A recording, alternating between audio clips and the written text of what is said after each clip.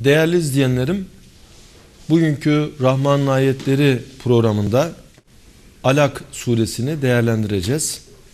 Allahu Teala burada bize şöyle bildiriyor. Bismillahirrahmanirrahim. İgra bismi rabbikellezi halak. Yaratan Rabbinin adıyla oku. Halakal insane min alak. O insanı alaktan yarattı. İgra ve rabbukel ekram. Oku Rabbin en kerim olandır. Ellezî alleme bil kalem ki o kalemle öğretti. Allemel insane ma lem yalem ve insana bilmediğini öğretti. Buraya kadar olan kısım e, tefsir kitaplarında ifade edildiği üzere e, Kur'an-ı Kerim'den ilk nazil olan 5 ayet. Peygamberimiz Aleyhisselatü Vesselam e, malum zaman zaman e, Hira mağarasına çekiliyor peygamberlik öncesi ve orada e, muhtemelen Hz. İbrahim Aleyhisselam'ın dini üzere, Hanif dini üzere Allah'a ibadetini takdim ediyor ve tefekkür içerisinde, vecd içerisinde bu insanlar bu cahiliye e, halinden nasıl kurtulur? E, bu insanlar bu günahlardan nasıl kurtulur? Şirkten nasıl kurtulur? Bunu düşünüyor. İşte yine bir gün mağaradayken Cebrail aleyhisselam geliyor. Peygamberimiz aleyhissalatü vesselam'ı şöyle sıkıyor. Ardından da ikra oku diyor. Peygamberimiz aleyhissalatü vesselam ben okuma bilmem diyor. Melek tekrar sıkıyor oku diyor. Peygamberimiz yine ben okuma bilmem diyor. Ardından melek tekrar e, sıkıp bu inen ayet e, bu okuduğumuz ayetleri orada peygamberimize bildiriyor. Oku Rabbinin adıyla oku. Seni yaratan Rabbinin adıyla oku. O insanı alaktan yarattı. Alak e, insanın yaratılış merhalelerinden birisi. Kur'an-ı Kerim'de insanın nutfeden, alakadan, mudga bu gibi merhalelerden geçerek yaratıldığı anlatılır. Bunlar ana rahminde geçirmiş olduğumuz bir takım evreler. İşte bir zigot halinden, ana rahmindeki bir tek hücre halinden Allahu Teala insanı gittikçe büyütüyor. Onlardan birisi alak merhalesi. Yani alaka diğer ismiyle e, rahim duvarına tutunmuş olduğu e, öyle bir hayat mertebesi. İnsanı bu şekilde alaktan yarattım. E, Hamdi Yazır e, alaka manasına da ayrıca dikkat çekiyor. İnsanı manevi yönden de bir alakadan, bir muhabbetten yarattı. Yani Allahu Teala insanı sevdi yarattı ve insanla o şekilde bir alaka var. Ee, Allahu Teala insanı kendisine muhatap olarak yarattı. Böyle işari bir manada düşünülebilir. İgra ve rabbukel ekram oku senin Rabbin en kerim olandır. En cömert olandır. Ellezî alleme bil kalem o kalemle öğretti allemel insane melem yalem insana bilmediğini bildirdi. Değerli izleyenlerim ilk inen ayetlerde oku emrinin yer alması ve e, okumakla alakalı en önemli bir alet olan kaleme dikkat çekilmesi gerçekten e, çok önemli. Peygamberimiz Aleyhisselatü Vesselam doğrudan kitap okumadı. O ümmi idi. Yani okuma yazma bilmiyordu. Ama bu peygamberimiz için bir nakısa değil. Allahu Teala ona doğrudan doğruya öğretti. İnsana bilmediğini öğretti derken başta en kamil insan olan Hazreti Peygamber Aleyhisselatü vesselama Allahu Teala bilmediği şeyleri öğretti. Ve allemeke melem tekün ta'lem ve Allah sana bilmediklerini bildirdi. Allah öğretince en güzelini öğretir. Mesela e, Hazreti Ebu Bekir radıyallahu an Peygamber Efendimiz'e diyor ki e, Ya Resulallah ben Arap ve Acemler içerisinde çokça bulundum ama bütün onların içerisinde sizin gibisini görmedim. Sizin gibi güzel konuşanı görmedim. Men eddebeke ya Resulallah. Ey Allah'ın Resulü bu şekilde seni kim terbiye etti? Peygamber Efendimiz şöyle buyuruyor. Eddebeni Rabbi fehsene tedibi. Rabbim beni edeplendirdi ve edebimi, terbiyemi güzel kıldı. İşte ta küçüklüğünden itibaren Peygamberimiz Aleyhisselatü Vesselam Cenab-ı Hakk'ın özel terbiyesinde yetişmiş. Evet e, annesinin terbiyesi, süt annesinin terbiyesi, dedesinin, e, amcasının terbiyesi gibi insanların da bunda dahli ve emeği var. Ama o ortamı hazırlayan, onlara e, terbiye etme özelliği veren Allahu Teala. Özel inayetiyle e, ahir zaman peygamberini büyütüyor e, ve onu tekamül ettiriyor. En sonunda 40 yaşına geldiğinde peygamberlik yükünü yüklenebilecek bir kapasiteye ulaştırıyor. İmam-ı Rabbani'nin dediği gibi melikin atiyelerini ancak matiyeleri taşır. Allahu Teala da kimin neyi taşıyacağını elbette biliyor. Kime velayet görevini vereceğini, kime risalet görevi vereceğini en iyi biliyor. Ve peygamberler içerisinde en büyüğü kim olacak? Ki o hem yaratılışın bir çekirdeği hem de yaratılışın bir meyvesi olacak.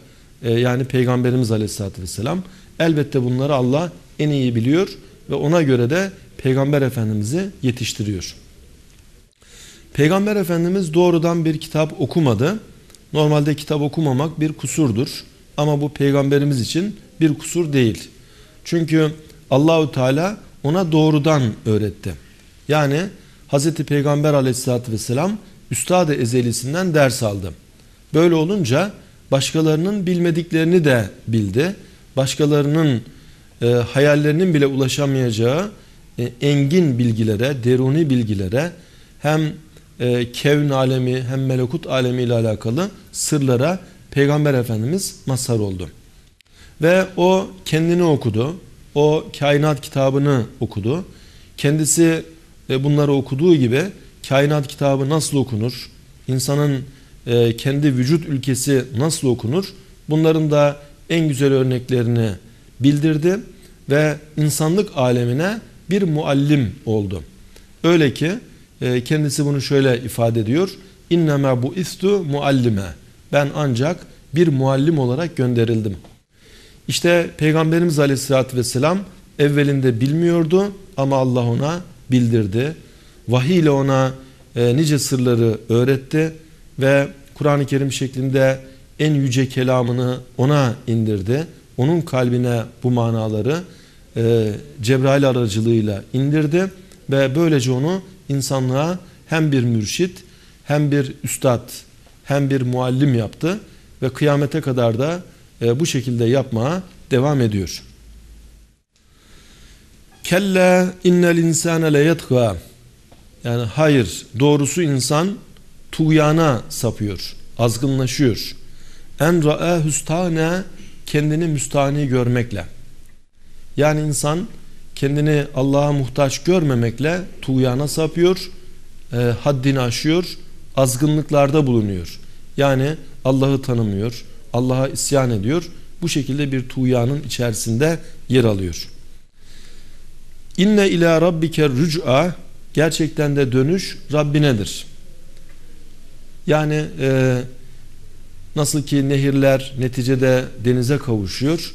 Şu dünya hayatının da neticesi ahiret olacak ve ahirette insanlar huzur ilahide hesap verecekler. Böyle olunca dönüşün Allah'a olduğunu bilen insanlar Allah'ın huzuruna e, isyan, tuğyan olmadan tertemiz bir şekilde varmaya çalışması gerekir. Burada yani dönüş Allah'adır e, bu mana bildirilirken Allah'ın huzurunda hesap vermenin sorumluluğu hatırlatılıyor. Madem Allah'a dönülecek Allah'ın huzurunda mahcup olmamak için ona göre bir hayat yaşamak gerekir. Eraeytellezî yenha gördün mü o yasaklayanı abden izâ salla namaz kıldığında bir kulum. Yani bir kul Allah'ın bir kulu namaz kılıyor biri de tutup onu namazdan alıkoymaya çalışıyor. Böyle e, zulmeden böyle haddini aşan tuğyana sapan kimseyi gördün mü? Burada e, hem abd namaz kılan abd kimdir bildirilmemiş hem de e, onu namazdan alıkoymaya çalışan kim bildirilmemiş. Ama e, tefsir kitaplarında namaz kılan kul Peygamberimiz Aleyhisselatü Vesselam onu namazdan alıkoymaya çalışan o da Ebu Cehil. Bu şekilde e, tefsir kitaplarında hadislere dayan, dayanılarak bu nazara veriliyor. İsmen zikredilmemesi, Ebu Cehil'in Kur'an-ı Kerim'de ismen yer almaması, yani onun ismi bakileştirilmiyor. Kur'an-ı Kerim'de isim olarak yer almıyor. Hiç e, zaten e, Kur'an-ı Kerim'de peygamberimiz döneminde hiçbir kafirin ismi doğrudan yer almamıştır. Ebu Leheb belki isim gibi hatıra gelebilir. Ebu Leheb Alev babası anlamında e, bir lakaptır. Doğrudan e, onun ismi değil. Peygamberimizin amcalarından asıl ismi başka. Ama e, sonunda alevli bir ateşe girecek. E, o yüzünün kırmızılığından dolayı kendisine Alev babası şeklinde bir lakap verilmiş. O lakap e, ayette yer alıyor. Yoksa e, peygamberimiz dönemindeki müşriklerden hiçbirisinin adı Kur'an-ı Kerim'de isim olarak geçmez. Burada da müfessirlerin ittifakıyla ayet-i kerime e, Ebu Cehil ile alakalı açıklanmıştır. Hatta e, bu konuda şöyle rivayete yer veriliyor. Ebu Cehil Peygamberimiz Aleyhisselatü Vesselam'la alakalı şunu söylüyor. Ben diyor Muhammed'i secdede gördüğümde e, onun üzerine ayaklarımla basacağım, boynunun üzerine basacağım diye yemin ediyor. Ancak Peygamberimiz Aleyhisselatü Vesselam Kabe'nin orada namaz kılarken o İslam'ın o ilk döneminde Müslümanların sayısının çok çok az olduğu gün zamanda Ebu Cehil oraya kadar geliyor ancak birden geri çekiliyor. Diyorlar e, niye dediğini yapmadın? E, birden ben bir uçurum gördüm. O aramızda bir uçurum ve oradan alevler yükseliyordu ve ben geri kaçtım diyor. E, çünkü e, Peygamberimiz Aleyhisselatü Vesselam Cenab-ı Hakk'ın hıfz ve himayesi altında.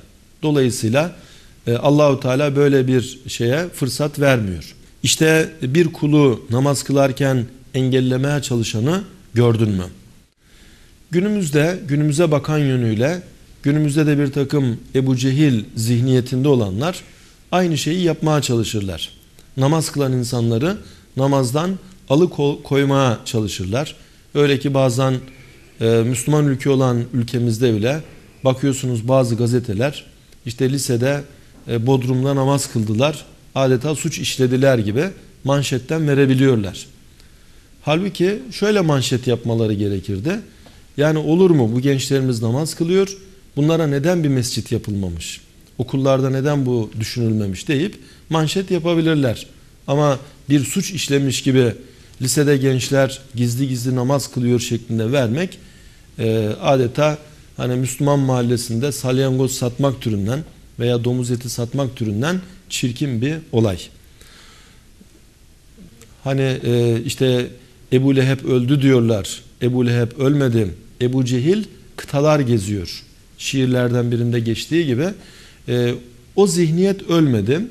E, Teşabehet kulubuhum onların kalpleri birbirine benzedi diyor Cenab-ı Hak. E, küfür bütün devirlerde benzeri bir mahiyeti gösteriyor. Dolayısıyla e, şu anda da Ebu Cehiller, Ebu Lehebler kıtalar dolaşıyor. Ve e, Firavunlar, Nemrutlar, Şeddatlar dünyanın her tarafında adeta cirit atıyorlar. Küfrün te temsilcileri her devirde olmuş, günümüzde de olmaya devam ediyor. Eraeyte inkâne alel huda yani gördün mü e, o hidayet üzere olsa yani böyle yapmak yerine hidayet üzere olsa ev emara bit takva veya takva ile emretse daha iyi olmaz mı? Veya bu peygambere yönelik bir şekilde şöyle olabilir. Yani o peygamber e, namaz kılan o kimse ya hidayet üzere ise takvaya emrediyorsa böyle mi yapmak gerekir? Bu manaya da e, tefsirlerde dikkat çekiliyor. Eraeyte in kezzebe ve tevelle yani gördün mü e, haber ver. Eğer o o kimse yalanlamışsa e, ve yüz çevirmişse yani peygamberi namazdan alıkoymaya çalışan bu kimse e, ona gelen ayetleri yalanlayan hakikattan yüz çeviren bir kimse ise artık onun durumu nedir? Elem ya'lem bi ennallâhe yara bilmedi mi Allah onu görüyor. Yani e, bilmesi lazım. E, şu dünya bir imtihan dünyası. İnsan şu dünyada imtihana tabi. Dolayısıyla e, neler yapıyorsa diğer alemde bu karşısına çıkacak. Bu zulmü yaparken de Allah onun nasıl bir zulüm yaptığını görüyor. E bunu bilip de kendine gelmedi mi? Kelle le illem yentehi lenesfa'an bin nasiye. Eğer o bu yaptığına son vermezse biz onu e, nasiyesinden yani bu perçeminden e, tutup atacağız. Nasiyetin kâdibetin hati'e o e, yalancı olan, günahkar olan alnından onu tutup atacağız. Yani onu cehenneme atacağız. Fel yed'u nadiye o da buna mukabil yapabiliyorsa e, kendine yardım edecek kimseleri onun kafasında olan, onun zihniyetinde olan kimseleri çağırsın. Onlardan yardım istesin. Rivayetlere göre Ebu Cehil Peygamberimiz Aleyhisselatü Vesselam'a güya hava atmaya çalışıyor. Ve diyor ki e, işte Mekke'nin reisi ben olduğumu bilmiyor musun? Benim şu kadar adamlarım olduğunu bilmiyor musun? Ben çağırdığımda hepsi benim emrimdedir. Şöyle yaparız böyle ederiz gibi tehditler savurmaya çalışıyor. Ayet-i kerime buna da bir cevap niteliğinde. Yani haydi çağırsın adamlarını. Ne kadar adamı varsa onun e, e, de, onun e, zihniyetinde olan ona yardım edebilecek ne kadar adamları varsa onları çağırsın. Sened uz zebaniye biz de zebanileri çağıracağız. Yani Allahu Teala'nın sonsuz kudreti var ve e, Allahu Teala meleklere öyle bir güç, öyle bir kudret vermiş ki Cebrail Aleyhisselam mesela Lut kavminin beldelerini helak ederken kendine verilen emirle kanadıyla onların beldelerini yukarıya kaldırıyor. Ardından da alabora edip aşağıya onları bırakıyor. Ve gökten yere o şekilde düşüyorlar. Ve üzerlerine bir bela yağmuru yağdırılıyor. Gökten başlarına taş yağdırılıyor ve beldeleri alt üst ediliyor, helak ediliyorlar. İşte bu bir melek Cebrail aleyhisselama Allahu Teala o şekilde bir güç kudret vermiş. Öte yandan zebani dediğimizde zebaniler de cehennemde görevli olan melekler. Biz o zebanileri çağıracağız. Yani Allahu Teala e, azametini ifade için Kur'an-ı Kerim'de zaman zaman biz ifadesini kullanır. Burada da biz deyişi azamet bildirir. Yani Ebu Cehil gibi e, küfrün önde gelenlerine, peygambere kafa tutan, e, namaz kılana engel olmak isteyenlere biz de zebanileri çağıracağız. Ve e, kelle hayır iş onların dediği gibi değil. La tuti'hu ey peygamber sen ona itaat etmem. Veya ey muhatap bu gibi kimseleri e, kendinden üstün görme, onlara itaat etme. Vescud vakterip sen secde et ve Allah'a yaklaş. Demek ki bizden istenen bu gibi zalim despot kimselere boyun eğmemek, onların dediklerini yapmamak, e, küllün yamelu ala şakiletihi herkes kendi durumuna göre, halet ruhiyesine göre hareket eder. Bunlar da e, adeta pislik böceklerinin pislikten lezzet alması gibi zulmetmekten lezzet alan kimseler. Ehli imana düşen bu gibi kimselere itaat etmemek ve müsbet hareket. Yani biz ibadetimizi yapacağız e, ve e, namazımızı kılacağız ve Cenab-ı Hakk'ın e, nezdinde mertebe elde etmeye, onun kurbiyetine mazhar olmaya çalışacağız. Cenab-ı Hak bizleri daima terakki eden, hem kendini okuyan hem kainat kitabını okuyan bahtiyarlardan eylesin. Bir başka programımızda beraber olmak ümidiyle hayırlı günler, hayırlı geceler diliyorum.